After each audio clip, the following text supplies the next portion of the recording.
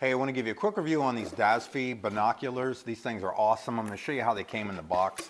Uh, obviously, I've already used them and stuff like that, but they have a nice carry case, which is awesome.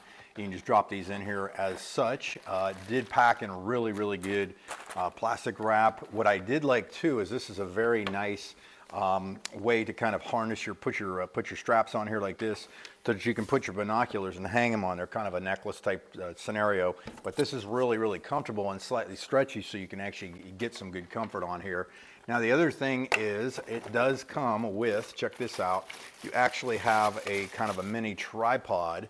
So you can actually set this up and you would just, these things pop open like this. This is how you extend these. And then I would just pop them all open birdwatch, pop, pop, pop. Pop that out like that and then lock them in place once you do it.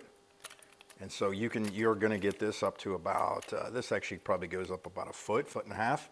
And then you could just take this, put these on here and strap them on here. So now you've got real stable viewing.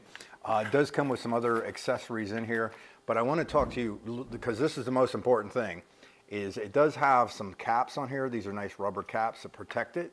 You can do the, um, the uh, adjustment of the focus right here by doing this, just with rotating it. And then what you have is you have your full focus here. It does also comes with lens caps that are attached so you can kind of keep these on here.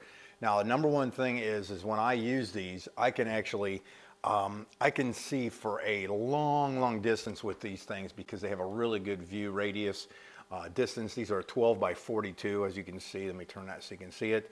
So when you're, when you're looking for, or if you're looking for a really good pair of binoculars, and these are pretty much water resistant slash waterproof, they're fantastic, they fit real good in your hands. Uh, perfect for any kind of scenario of bird watching, uh, keeping an eye on your property, you know, going hunting, things like that. Uh, go pick these up, you're gonna love them.